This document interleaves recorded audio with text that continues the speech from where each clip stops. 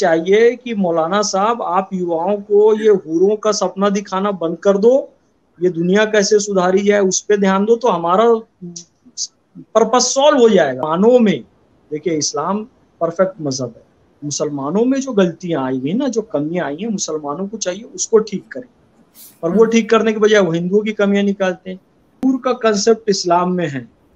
अब गिनती क्या है, ये हम नहीं बता सकते। ले रहे हैं, उन प्रतीकों को नहीं समझ रहे सिंबल को नहीं समझ रहे। जैसे सनातन वाले यदि व्याख्या की जाए तो सनातन के लोग अच्छे से समझते हैं।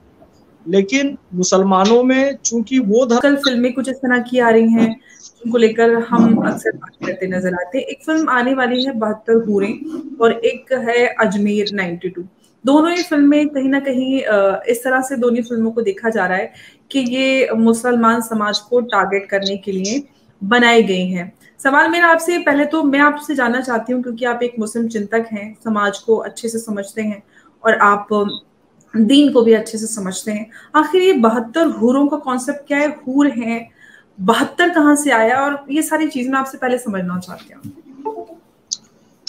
देखिए मैं एक बात स्पष्ट कर देना चाहता हूँ आपको। कुछ चीज़ें इस्लाम में हैं बहुत सेंसिटिव है। सभी धर्मों में कुछ सेंसिटिव बातें होती हैं। जिन पर बहुत सावधानी से और फूक फूक कर आपको कदम रखना होता है और बात करनी होती है स्पेशल मीडिया में। इसका कारण यह मैंने कई सारे मुस्लिम विचारक चिंतक मौलाना मौलवी उलमा मुफ्ती ऐसा टैग लेके आ जाते हैं और इस्लाम के बारे में कुछ भी उल ज़रूर बातें करने लगते हैं। जी। तो इस बात को हमको स्पष्ट रूप से समझ जाना चाहिए कि हूर का कंसेप्ट इस्लाम में है। अब गिनती क्या है ये हम नहीं बता सकते एग्जैक्ट लेकिन हूर है बिल्कुल। और तो रहमान में हाँ वो सब रिवायतें हैं अलग अलग कोई बहत्तर कहता है कोई सत्तर कहता है कोई बहत्तर फिरके कहता है कोई तिहत्तर फिरके कहता है है ना? तो अलग अलग जगह से ये आंकड़े आ जाते हैं। तो लेकिन जो एग्जैक्ट है इस्लाम में वो मैं बता रहा हूँ। संख्या एग्जैक्ट मैं आपको नहीं बोल सकता पर हूर है। ये बिल्कुल सत्य है। सूर्य रहमान में हूर का ज़िक्र आया हुआ है। क्योंकि जन्नत की बहुत सारी नेमतों का अल्लाह ने जो जो हमें दिया है और इतना दिया है, इतना दिया है अल्लाह ने तो उसमें बार बार आता है कि आप अल्लाह की किस किस नेमतों से इनकार करोगे, ए जिन्न इंसान? तो वो चीज़ उसमें आई हुई है। फबी आला रबकुम मातुकज़बान अल्लाह की किन किन रहमतों से, नेमतों से आप इनकार करोगे जिन्नो इंसान? तो अल्लाह की उन रहमतों में एक जन्नत भी बताई गई है जन्नत में हुरे भी बताई गई है तमाम तरह की चीज़ें बताई गई है फल बताए गए रेहान बताया गया तुलसी बताया गया ये सब चीज़ें हैं। संख्या में मैं नहीं जाऊँगा संख्या का एग्जैक्ट कोई फिगर ऐसा नहीं है। जी। पूर है। पूरों का वर्णन भी है कि वो कितने सुंदर होंगी कैसी दिखती होंगी मुश्क अंबर जाफरान से बनी होंगी। उनकी ऊंचाई भी मौलाना अलग अलग बताते हैं। बहरहाल जो भी है। लेकिन हाँ 130 फीट है 140 अच्छा साहब एक बात भैया आपने जो ऊंचाई की बात की और ऐसी बहुत सारी वीडियोस अक्सर हम देखते रहते हैं और आजकल क्योंकि ये मुद्दा चल रहा है तो बहुत सारी वीडियोस निकाल निकाल के वायरल भी हो रही हैं। जो मौलाना ये पूरे ग्राफिक डिटेलिंग देते हैं जन्नत की हुरों की शराबों की अल्लाह अपने हाथ से खुद तीन तरह की शराब होगी खुद हुर खुद शराब हमारे हमें पिलाएगा 130 फीट की हुर होगी ऐसी गोरी होगी वो नूर होगा अल्लाह के नूर से पैदा हुई होगी। वो हमारे लिए होगी। आखिर ये कहाँ पे लिखा हुआ है? क्या इस तरह को कोई वर्णन मिलता है? जन्नत का पूरा किस तरह का होगा? शराब की नहरें शहद की नहरें और ये हुर। देखिए ये अलग अलग हदीसों में आया है और अलग अलग हदीसों में अलग अलग बात को बहुत सारी ज़यीफ हदीस भी कहते हैं बहुत सारी हदीसें। किसी ने हदीस ओरिजिनल थी नहीं अपने मन से। देखिए हदीस एक्चुअली में है क्या? पैगंबर हज़रत मोहम्मद वसल्लम ने जो बात कही और जो काम किए उन सबको मिलाकर हदीस बनती अब जैसे उन्होंने कहीं कुछ बात कही मान लीजिए वहाँ चार लोग बैठे थे तो किसी ने कैसे डील किया किसी ने कैसा लिखा फिर उसको सुनने वाले ने कैसा सुना आगे उसने फिर क्या लिखा? तो हम वो खेल खेलते हैं ना किसी ने कुछ कहा फिर उसके कान में दूसरा कहा तीसरा कहा चौथा कहा दसवें के पास आते आते वो मूल बात क्या थी वो समाप्त हो गई। तो कुछ हदीसों के साथ भी ऐसा हुआ है। इसलिए जो डिस्प्यूटेड बात है हम उस पर नहीं जाएँगे मैं आपको बार बार कह रहा हूँ वो कहते हैं जी वहाँ पे शराब भी होगी और कौन पिलाएगा, कौन सी पिलाएगी? माज अल्लाह की अल्लाह शराब पिलाएगा, इस तरह की बातें तो नहीं करनी चाहिए। लेकिन इसमें एक बड़ी बात समझने लायक जो ये है कि कुछ प्रतीक, कुछ इशारों में कुछ बात कही जाती है, ताकि हम इस दुनिया को सुधार सके। उस प्रतीक और इशारों को सनातन वाले यदि व्याख्या की जाए तो सनातन के लोग अच्छे से समझते हैं। लेकिन मुसलमानों में चूँकि वो धर्म सुधार आंदोलन नहीं आया है जो कि हिंदुओं में आया। यानी स्वामी विवेकानंद आए स्वामी दयानंद सरस्वती आए राजा राम मोहन राय तमाम तरह के मुसलमानों में भी कुछ आधुनिक काल में धर्म सुधार आने थे तो वो नहीं हो पाए। जो आते हैं उनको कह देते हैं कि इस्लाम के विरोधी हैं। तो वो उन चीज़ों को एज इट इज़ ले रहे हैं उन प्रतीकों को नहीं समझ रहे सिंबल को नहीं समझ रहे जैसे कि कुरान शरीफ में एक बहुत अच्छा सिंबल है जब एक बाढ़ और एक प्रलय आने की ऐसी सूचना हज़रत नूह को मिली हज़रत नूह सलाम ने केवल इबादत नहीं की, केवल नमाज़ नहीं पढ़ी, केवल सजदे में नहीं चले गए कि अब मैं इस बाढ़ से बचने के लिए अल्लाह से मांगूँगा। बल्कि उन्होंने साइंस टेक का इस्तेमाल किया और पूरी मेहनत की एक शिप बनाने में। आज के बड़े बड़े इंजीनियर वो शिप नहीं बना सकते जो हज़रत नूह सलाम ने शिप बनाई थी। और उसमें सबको बैठाकर लोगों को सुरक्षित रखा। यानी कि इस्लाम में और कुरान शरीफ में साइंस टेक की कितनी बड़ी बात है। ठीक उसी तरीके से इस इशारे को यदि हम समझें, वो है ना, टूटने के लिए एक सितारा काफ़ी होता है और समझदार के लिए बस एक इशारा काफ़ी होता है। इस दुनिया में हम औरतों के साथ अच्छी इज़्ज़त करें, उनकी इज़्ज़त करें, उनके साथ अच्छा व्यवहार करें, अपनी माँ, बहन, बेटियों की इज़्ज़त करें, हमारी जो पत्नी है उसकी इज़्ज़त करें। इसके लिए पहले तो हूर का एक बड़ा एक ढांचा खींचा गया, उसका ग्राफिक पूरा बनाया गया कि हूर इतनी खूबसूरत होगी, इतनी खूबसूरत होगी, उसका सारा वर्णन किया गया, फिर बताया कि वो आपको रिवॉर्ड के रूप में जन्नत में मिलेगी। फिर फाइनली पैगंबर हज़रत मोहम्मद से जब उनकी पत्नी उम्मे सलमा पूछती हैं कि जन्नत की हूर ज़्यादा अफजल है, श्रेष्ठ है कि दुनिया की औरत? पैगंबर हज़रत मोहम्मद वसल्लम जो कि बहुत तार्किक व्यक्ति थे और लचीले व्यक्ति थे और समझदार व्यक्ति थे, उन्होंने यही कहा कि एक ईमान वाली दुनिया की औरत जन्नत की हूर से सत्तर हज़ार गुना ज़्यादा अफजल है, श्रेष्ठ है। यानी कि कुल मिलाकर हम कहा है? अपनी पत्नी पे आए और अपनी बेटी पे आए, अपनी बहन पे आए कि भाई ये दुनिया की ईमान वाली औरतें ही हैं जो हमारे घर परिवार को चलाती हैं, अल्लाह की इबादत करती हैं और सबको लेकर चलती हैं समन्वय से तो इनकी इज़्ज़त करो। और देखिए, एक कुछ बातें तो ये तो प्रतीक के रूप में है कि जन्नत की हूर से ज़्यादा अफजल दुनिया की औरत है। और कुछ बात तो डायरेक्ट कही गई है। जैसे कि माओ के कदमों में जन्नत है, ये बिल्कुल प्रमाणिक हदीस है। जी, माओ के कदमों में जन्नत है। हूर कहाँ है? जन्नत में है। और जन्नत कहाँ है? माँ के कदमों में ए प्लस बी मतलब A is equal B is equal C यानी कि ए इज़ इक्वल सी तो जन्नत में हूर है और जन्नत माँ के कदमों में है। यानी हूर कहा हो गई? माँ के कदमों में हो गई। अच्छा ये बहुवचन कहा गया है। माओ के उम्मा हाथी कहा गया है। माओ के कदमों में जन्नत है। यानी कि हमें जन्म देने वाली माँ और हमारे बच्चों को जन्म देने वाली माँ। दोनों के कदमों में जन्नत है। कई लोग के कंफ्यूजन रहता है, कई लोग बोलते भी हैं कि भाई, ये कल की आई बहू, कल की आई बीवी के पीछे पागल हो गया, जोरू का गुलाम हो गया। ऐसा नहीं बोलना चाहिए।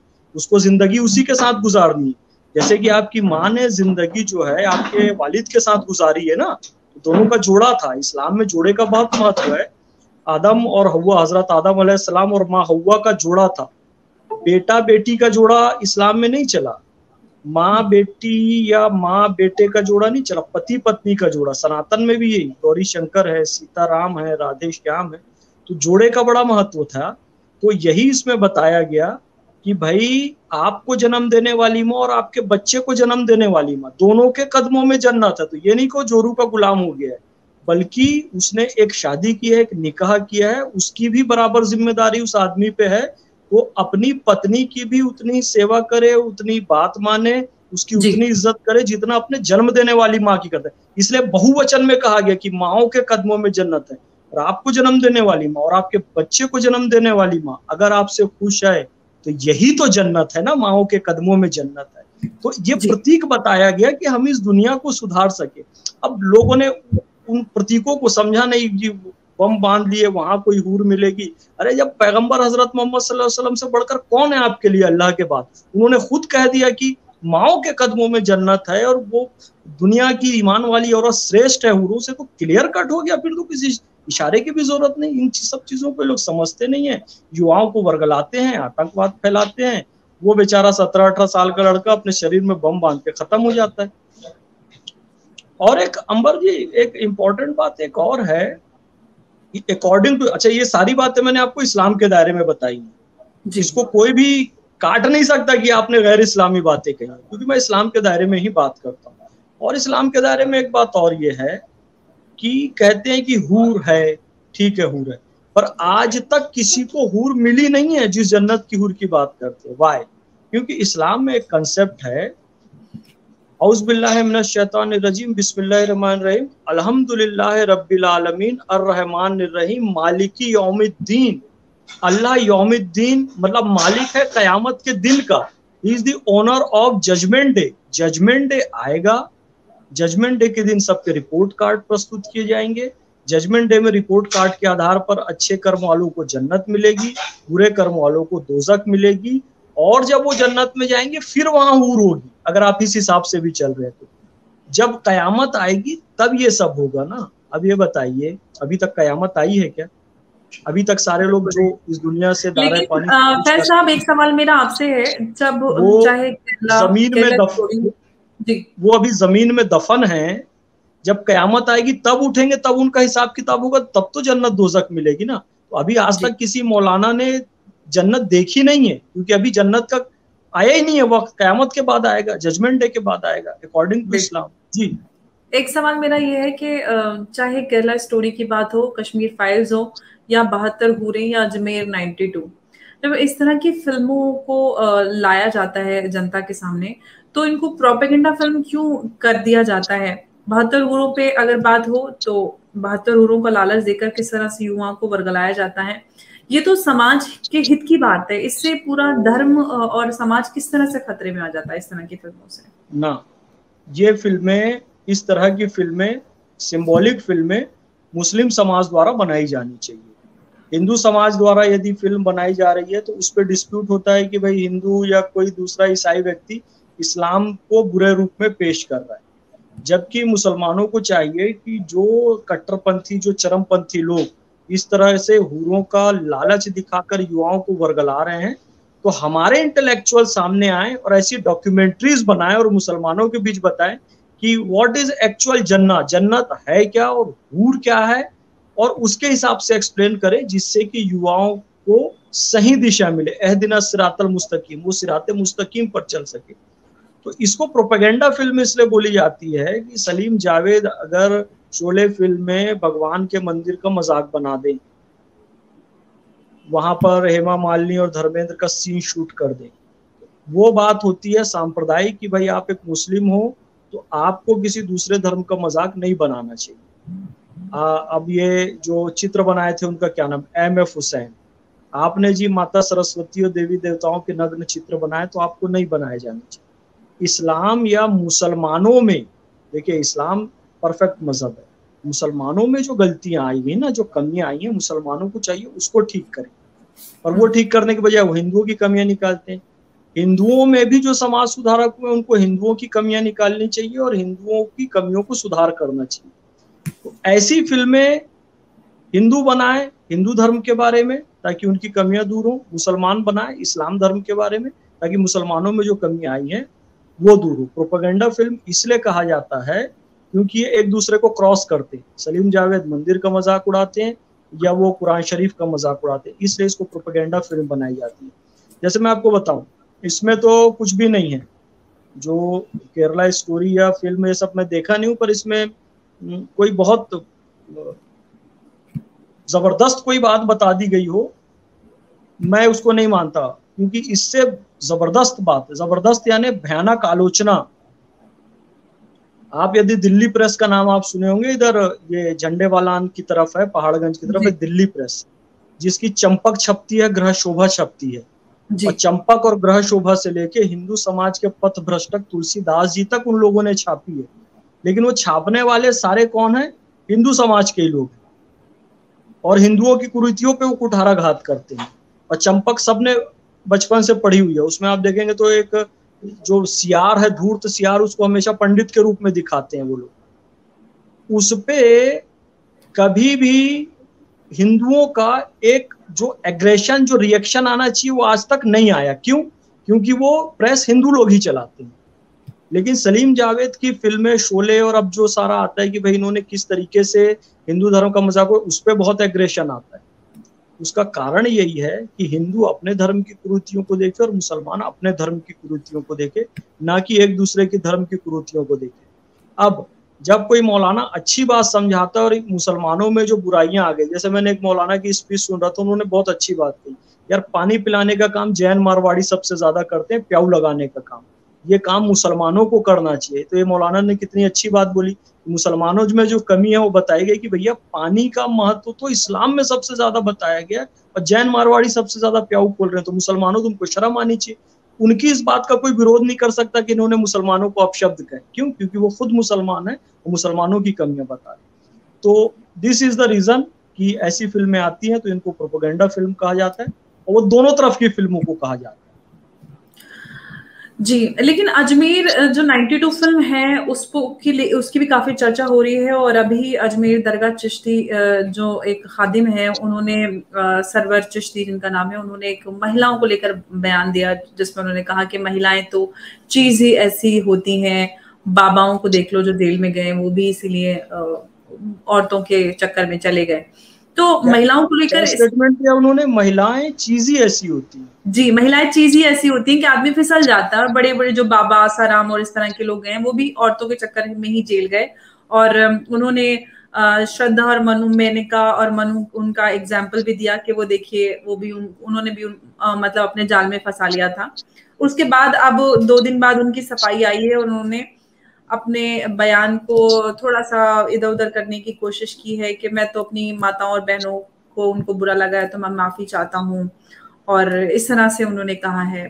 तो सबसे बड़ी बात, महिलाएँ कोई ऐसी चीज़ होती है, वस्तु की तरह क्यों देखा जा रहा है महिलाओं को? जो अपराध हुआ अजमेर 92 में, उसको दरगाह के साथ क्यों जोड़ा जा रहा है?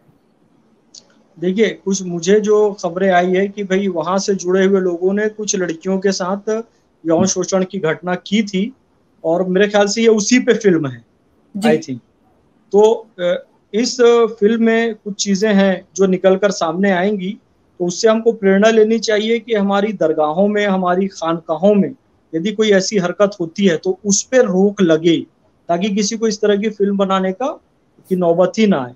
और ये जिन जिन भी व्यक्ति ने कहा ये तो बिल्कुल निंदनीय बात है क्योंकि दुनिया का हर आदमी कोई भी हो इस संसार में हज़रत ईसा आए, पैगंबर हज़रत मोहम्मद सल्लल्लाहु अलैहि वसल्लम आए गौतम बुद्ध आए, भगवान महावीर आए, सब माँ के गर्भ से आए हैं। और अपने माँ के गर्भ को और अपनी माँ को आप अगर चीज़ बोल दे रहे हो, वस्तु बोल दे रहे हो तो आपसे बुरा और निकृष्ट इंसान कोई नहीं हो सकता।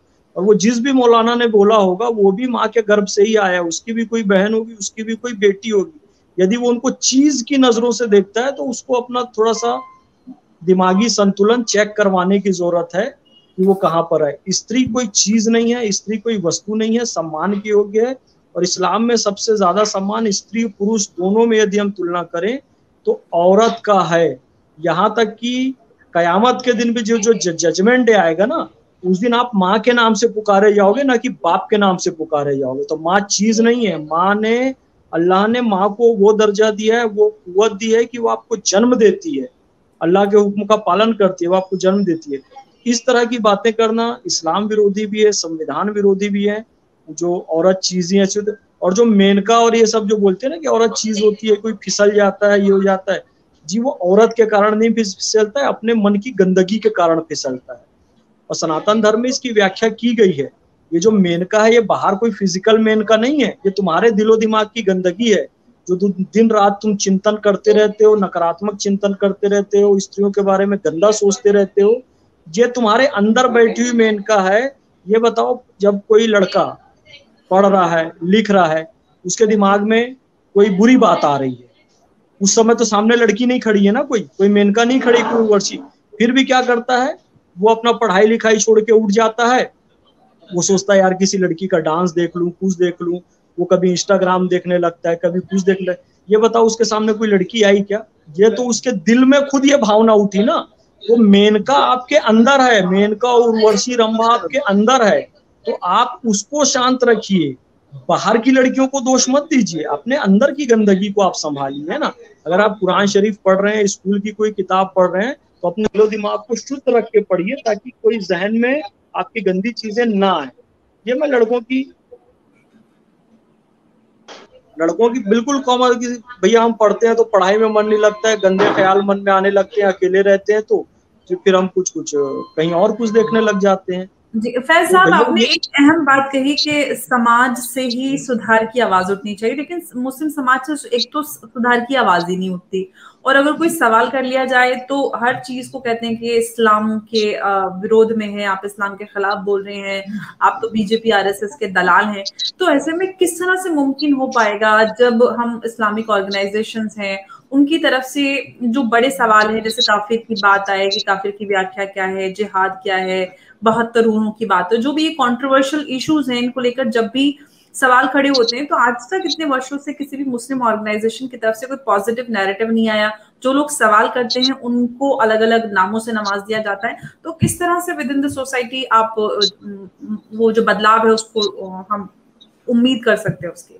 देखिए सौ में से निन्यानवे लोग अगर एक विचार के पक्षधर हैं और एक व्यक्ति एक अलग विचार का पक्षधर है ये हाँ। कहा जाता है जो एक व्यक्ति अकेला है उसकी भी बात सुननी चाहिए क्योंकि दुनिया के मूल विचार हमेशा किसी एक व्यक्ति के जहन में पहले आते हैं।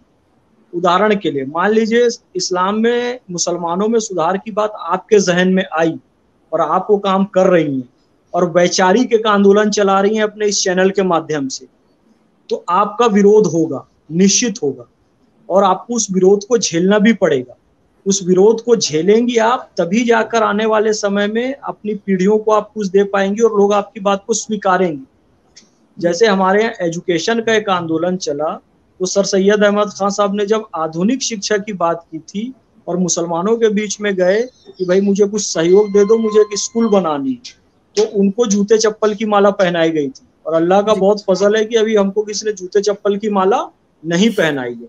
तो हमको अभी बहुत कुछ झेलना है आपको अभी बहुत कुछ झेलना है क्योंकि जब जब हम आ रहे हो। जी? झेलते आ रहे हैं। बिल्कुल झेलते आ रहे हैं। और वो झेलना है क्यों? क्योंकि हम एक इस्लाम और मुसलमानों की छवि अच्छी बनाना चाहते हैं। तो जो कट्टरपंथी लोग हैं जिन इदारों से चीज़ें आनी चाहिए उन इदारों से नहीं आ रही तो हमको और आपको ही सामने आना पड़ेगा। तो हम इस्लाम प्रगतिशील इस्लाम की बात करेंगे गत्यात्मकता की बात करेंगे। एक बात स्पष्ट सुन लीजिए। पैगंबर हज़रत मोहम्मद सल्लल्लाहु अलैहि वसल्लम बहुत तार्किक थे बहुत लचीले थे।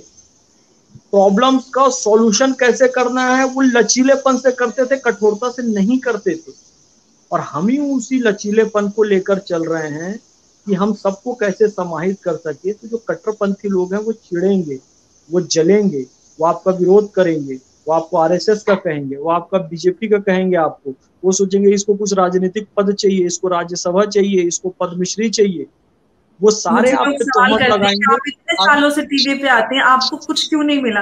मैं क्या हाँ, मिलना था? मैं समाज में बदलाव के लिए काम करती कुछ मिलने के लिए थोड़ी ना काम करते। हाँ, हमको जो चाहिए ये चाहिए कि मौलाना साहब आप युवाओं को ये हुरों का सपना दिखाना बंद कर दो ये दुनिया कैसे सुधारी जाए उस पर ध्यान दो तो हमारा पर्पस सॉल्व हो जाएगा। हमारा पर्पस पद्मश्री और राज्यसभा से नहीं है और हमने तो आज तक नहीं कहा। ये बात आप ही करते हो क्योंकि ये चीज़ें आपके दिमाग में रहती है। हमको कहते हो बीजेपी या आरएसएस का है और जो कहते हैं वो पीठ पीछे जाके किस आरएसएस के नेता से मिलते हैं और किस बीजेपी के नेता से मिलते हैं जानकारी तो हमको भी आती है क्योंकि पर्पस आपका पद्मश्री और राज्यसभा तो हाँ तो पर्पस आपका है राज्यसभा और पद्मश्री का वो चीज़ हमें आरोप आरोपित करते हैं। अरे हमको जो अल्लाह जिसका बदला देना होगा वो देगा और दे भी रहा है इनशाला तो हमको ये शौक नहीं है। अल्लाह हमको मैं बार बार एक बात कहता हूँ रब्बना आता है ना फिर दुनिया हसनतों व फिर आखरत